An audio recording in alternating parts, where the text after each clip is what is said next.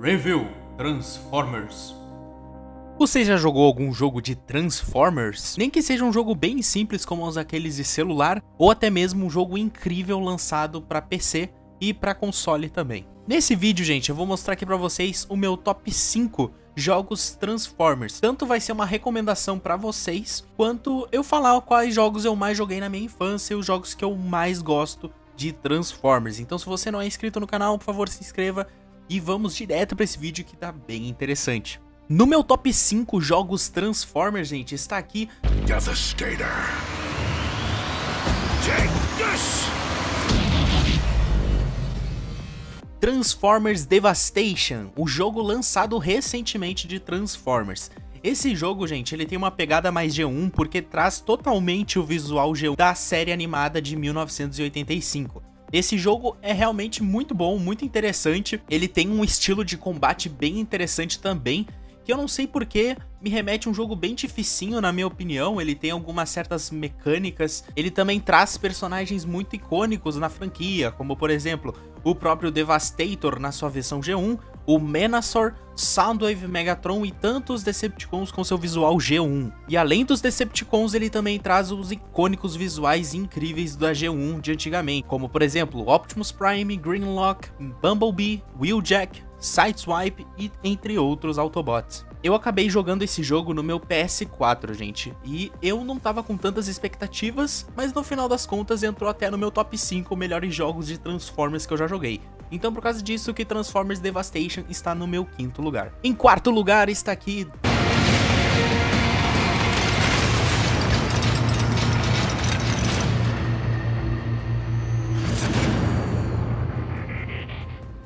Dark of the Moon pra PS3, gente. Eu joguei esse jogo no PS3 e, gente, que jogo interessante. Pra você que não sabe, esse jogo ele se passa antes do filme do Transformers 3. Ele se passa contando a história dos Autobots, contando um pouquinho da história dos Decepticons, como que o Megatron virou aquele caminhão enferrujado, como que o Shockwave conheceu o Optimus Prime ali, na que ele tava soterrado. Então, muitas coisas interessantes são reveladas nesse jogo. E o final dele, você que não quer receber spoiler, por favor, pause esse vídeo e volte só nessa duração do vídeo, ok? O final do jogo nós temos a reunião dos quatro Decepticons, Starscream, Soundwave, Megatron e Shockwave.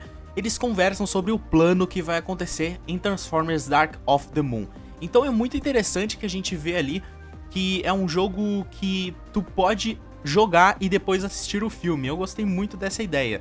E o jogo, além disso, é bem divertido de se jogar. A gente joga com o Megatron, joga com Bumblebee, Optimus Prime, Soundwave, jogamos com bastante Dece Autobots e Decepticons. E também tem alguns Decepticons ali meio que drones, como por exemplo o próprio Mixmaster aparece nesse jogo.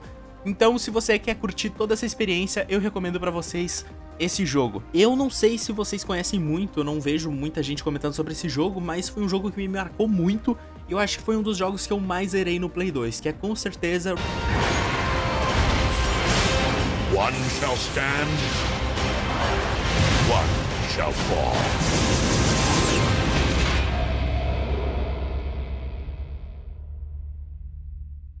Revenge of the Fallen para PS2, gente. Não é a versão para PS3, porque eu não curti muito aquele jogo, eu achei meio estranho, né, para ser bem sincero. Por causa disso que eu deixei o de PS2, porque eu acho muito divertido jogar aquele game. Ele é um jogo bem linear, a gente tem que seguir uma, um roteiro do jogo, bem divertido. A gente tem que derrotar vários Decepticons e é uma história muito interessante. A gente acaba controlando o Sideways, o Starscream e acaba lutando até mesmo com o Devastador e o final do jogo com certeza a gente derrota o Fallen. Então se você nunca ouviu falar sobre esse jogo, pesquisa aí que é muito interessante, é um jogo bem divertido e bem legal de se jogar. E agora vamos pro meu top 2 melhor jogo de Transformers, na minha opinião, que é o...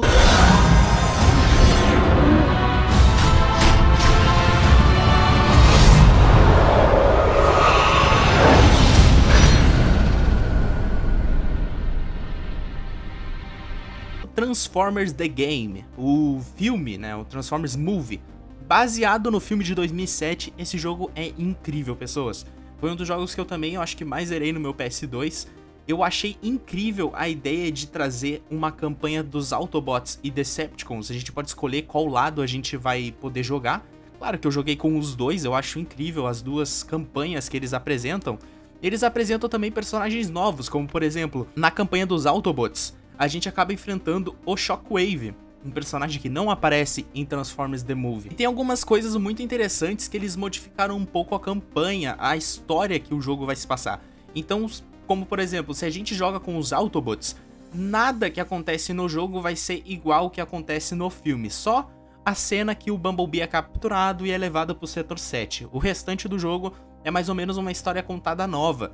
Como, por exemplo, o Jazz acaba matando o Blackout e o Starscream. Aquela batalha para mim é incrível, porque a gente percebe que aquele mini Autobot derrotou dois gigantes e eu ficava bem feliz. Por causa disso que também o Jazz é um dos meus personagens favoritos da franquia, tanto por conta do filme e por conta do jogo. E agora para finalizar meu top lista jogos que eu top 5, né, que eu mais gosto de Transformers, eu estou aqui com dois jogos. Eu decidi colocar dois jogos nessa lista porque são, são cronologicamente do mesmo universo.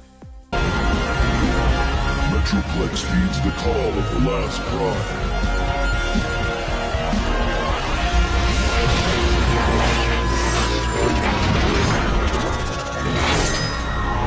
É Transformers Fall of Cybertron e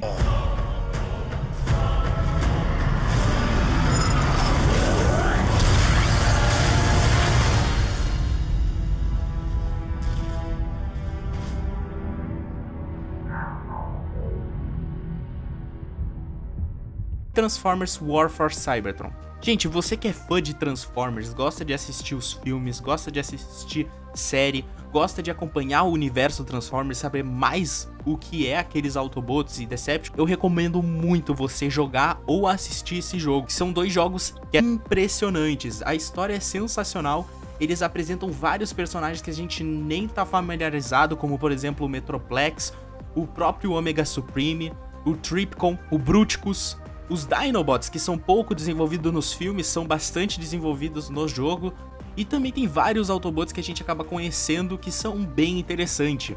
E claro, são personalidades diferentes do que a gente acompanha nos filmes. A gente percebe que o Starscream nesse jogo tá bem mais querendo a posição de líder do que no filme, né? Então se você tem um tempo livre, eu recomendo muito esses dois jogos. São jogos até querendo ou não com uma campanha, eu acho que os dois juntos dá uma campanha de 15 a 20 horas, então se você tem um pouquinho de tempo durante o seu dia e tem esse jogo para jogar, eu recomendo bastante você jogar ou assistir também alguém jogando, que é bem interessante também. Então, gente, esse é o vídeo, foi mais um vídeo extra aqui pro canal, certo? O meu top lista, eu sei que vocês gostam bastante de top lista no canal, e claro, o canal de Transformers, o Review Transformers, também não é só de revisão, também teremos várias outras coisas.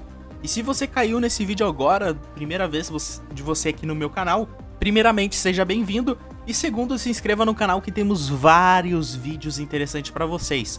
Então é isso pessoas, um forte abraço a todos, falou!